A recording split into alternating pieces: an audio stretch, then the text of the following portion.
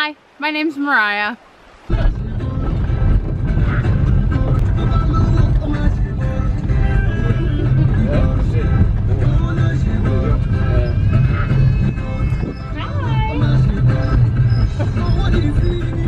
I love villages. I absolutely love the people there. I love the culture of the villages. I love the overall atmosphere. We are at a village and we are meeting the chief's wife and just hanging out and having bananas and sugar cane and chatting with these lovely people like him. Believe it or not, but he's excited. And so villages really get me going of like just being passionate because I feel as if those are the people that feel oppressed the most, especially financially. They know that they're poor, but they are so rich in spirit. Gosh, do they know that they're loved. Bananas! I want to try one of these. Oh. Yeah. Ma- banana siditi matochi Matochi is Matochi. banana. Matochi. matochi Matochi. Eh, malai watiti matochi Ma- Emwe kuli kumalai Matochi. matochi She's your grandmother. Yeah, my grandmother. Okay. That's good. Two months. She's getting better at English. Yeah. It's definitely a red banana. Mariah, thoughts? it's a banana, man. Like, I'm happy. yeah, banana.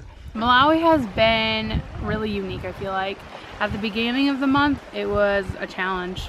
Uh, hated it. Hated being in Malawi. I think cultural differences have been astronomical in my mind. The way that I've been treated, the way that men treat females has just been not so awesome.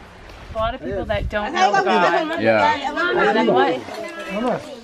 Oh, like my dream, how it's gone. Bananas, sugar cane. Been And getting babies. with that. These day. people that's It's gonna be a good, good, good day. I think Happy Coconut and I have this this interesting relationship. Hello, my name is Happy Coconut. I'm from Kalbe. I love Malawi. He'll sit down to play bow or we'll grab a pop, soda, whatever you want to call it, and and we'll just talk like over the last course of the week it's been very much so like he'll talk about his life and then he'll throw in like oh but i have this on sale do you want to see my art or my postcards or my paintings and i was like you can show them to me but i don't know that i'll buy them. And then we get conversation flowing about like what art mediums he uses but i try to be as relational as possible. So usually it's over a game of bow um, and we just we hang out we chat. What am I doing wrong?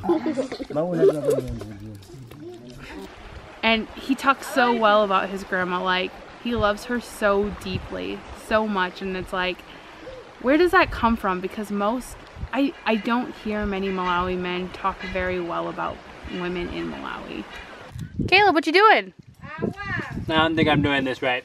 what are you trying to do Get this, get this husk off, skin off, the hard stuff. oh Like this.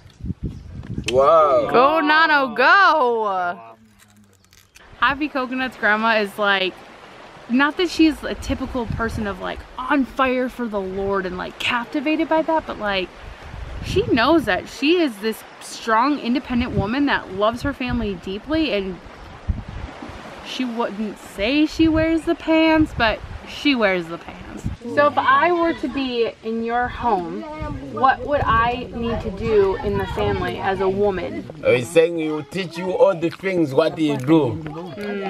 Yeah. You know how to farm, to grow, to grow things. ah mamlima mamkwasa di He's saying he, he can all, you all the whole thing. yeah kupua mampua Do you know how to pound cassava?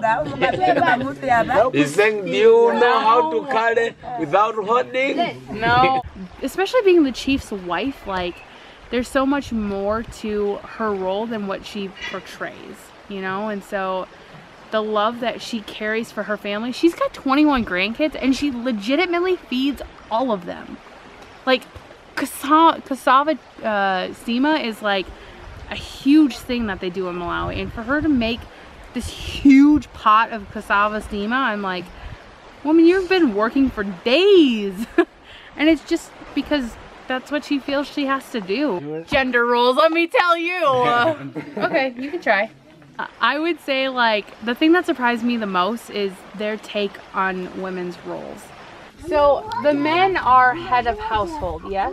atiti anthu minimba kulemekezeka ukongwa kuno kumalawi Nyamba kulimezeka ukungu. he's saying the men they're king But women do most of the work, yeah? pena ati mwandikazi chifukwa muleke kulemekezeka ukongwa chifukwa mugwira ntchito zinani Eh, anthu akuziwika shata ndikazi. He's saying like girls that are not really more important to the men. I got to Malawi and people were saying like they that men treat women as dogs, not as people, and I was in disbelief.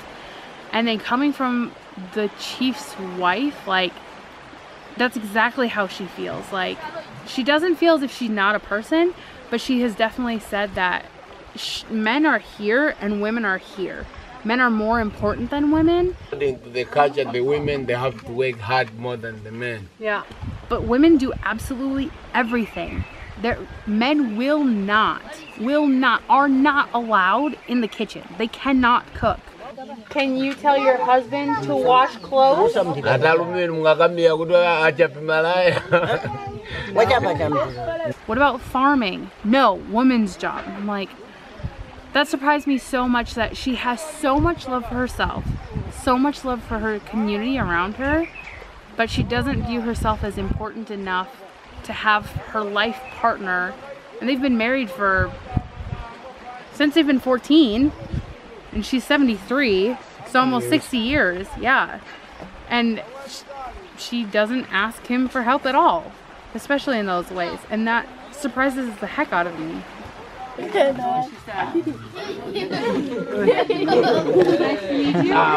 Goodbye, Gogo. Bye. I think I learned the most. this sounds interesting, but I think what I learned the most is that women are a vital role to Malawi culture. Like, men can't stand on their own, they need women in order to help them out. And the love that comes from a woman onto a man is what makes the family dynamic. Like, the support that she gives, like, she does a crap ton of stuff.